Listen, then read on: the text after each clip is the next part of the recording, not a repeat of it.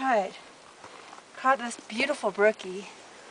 However, it's a little small and uh, he wasn't going to make it. So we're about to feed him to one of the birds. And we're going to give him a little toss out there so the bird feels safe to come in and get him. And then we'll see what happens. See in a minute.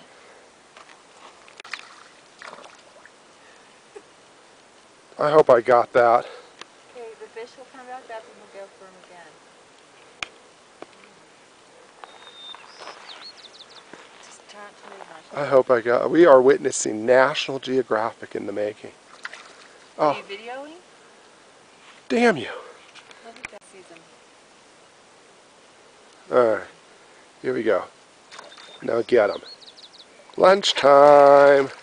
Oh, you dropped them, you clown. Now what? You have to wait for him to float back up. You clown. You call yourself a bird. You could get voted into the Bird Loser Hall of Fame. Try it again.